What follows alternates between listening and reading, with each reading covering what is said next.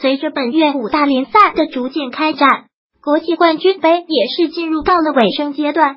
新赛季英超的揭幕时间比较靠前，所以像曼联等俱乐部也是结束自己今年夏天的国际冠军杯之旅。而在在今天早上，国际足坛展开了一场焦点之战，尤文图斯在美国面对 MLS 全明星队。需要说的是，这并非是国际冠军杯的比赛，只是一场足球友谊赛。尤文图斯方面由赫迪拉、蒂亚尼奇等人领衔，MLS 全明星队中则是由我们熟悉的乔文科、肖赖特。乔文科在赛前接受采访的时候表示自己很激动，可以看到曾经的队友们。今天的比赛中，尤文图斯率先发难，贝尔纳代斯基在禁区内小角度射门。被老门将古赞得到，当然最好机会要说是全明星队了。第十四分钟，阿勇朗利用角球的机会头球攻门，虽然什琴斯尼将身体舒展，但是门门柱和横梁交汇的地方阻止了进球的发生。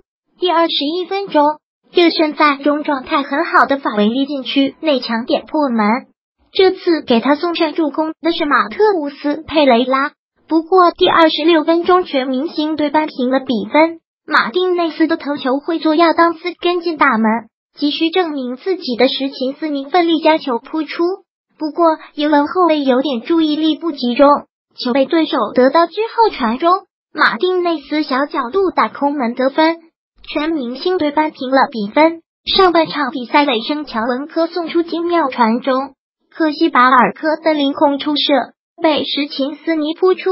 半场结束的时候，双方战成一比一。下半场比赛，不管是贝纳的司机的左脚凌空抽射，坎塞洛的大力抽射，还是 MLS 禁区外的远射，都没有能够破门。第八十二分钟，全明星队的单刀射门被挡出，可惜之后的第二脚射门也没有把握住。此后双方均无建树，比赛进入到的点球大战。点球大战中。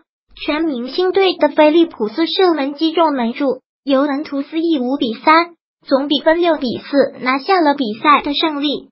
这场比赛中，尤文图斯的阵容中虽然没有 C 罗、迪巴拉等人，但是他们还是展现出了不错的状态，尤其是个打了半场的门将什琴斯尼和佩林，在布冯离开之后，两人将会形成竞争关系。什琴斯尼拿到一号球衣，不代表。他就坐稳主力位置，新赛季尤文图斯更加强大了。